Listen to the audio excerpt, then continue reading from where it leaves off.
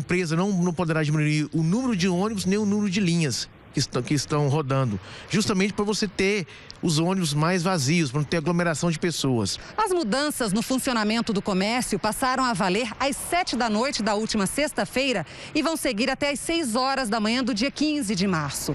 É um decreto excepcional. Desde o início da pandemia, Anápolis passou a ter três níveis de contaminação da Covid-19: leve, crítico e moderado. O cenário atual é o mais rígido até agora. Em uma escala, é como se estivesse acima do crítico e antes do lockdown. Nós estamos preocupados porque está uma, uma taxa de ocupação alta, tanto nos leitos de UTI quanto nos leitos de enfermaria.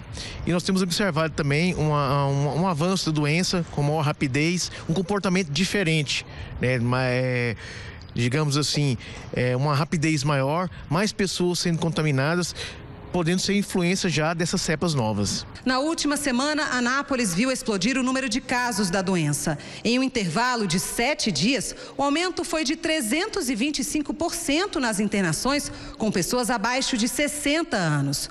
Por isso, o anúncio das novas medidas. São dez dias da contribuição de todos para que a gente possa salvar centenas de vidas, ou pelo menos para que a gente possa garantir o tratamento adequado a todo cidadão napolino. As fiscalizações acontecem noite e dia. Fecham estabelecimentos, multam quem descumpre o decreto mais de uma vez e interditam locais que possam haver aglomeração.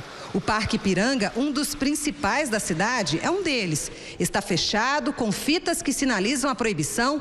Mesmo assim, ainda tem gente que se arrisca fazendo caminhada.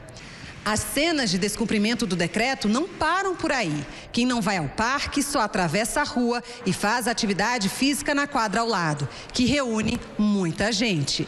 Se você não tinha um idoso na sua família e por isso você levava a vida ao bel prazer, o vírus começou a matar pessoas jovens